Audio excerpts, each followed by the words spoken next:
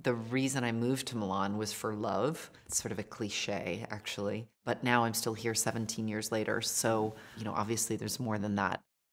My secret spot in Milan, I do a lot of meditating in churches, I do a lot of writing in churches. I love it. They're very mystical, spiritual places. My favorite places to go shopping in Milan are always a little bit off the beaten path. I love, um, I collect crystals, so I love a crystal shop in Via Santa Marta.